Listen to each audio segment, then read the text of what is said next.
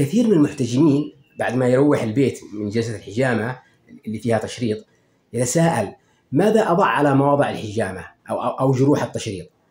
نقول له دهن عليها بقليل من زيت الخروع الصافي وإذا لم تجد خروع زيت زيتون أو زيت سمسم.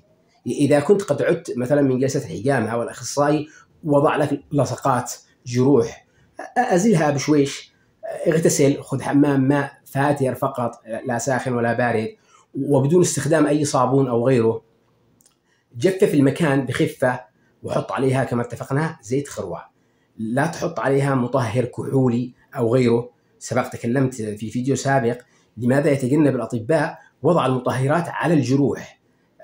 زيت الخروع ثبت علميا بأنه يساعد على التئام الخدوش أو أو جروح الحجامة كما أنه مادة مطهرة ويعمل كطبقة عازلة للجراثيم ويمنع تلوث الجرح. وأيضا يقلل من رطوبة المكان. وممكن تكرر عملية الدهن بزيت الخروع أكثر من مرة في اليوم وحتى ثلاثة أيام.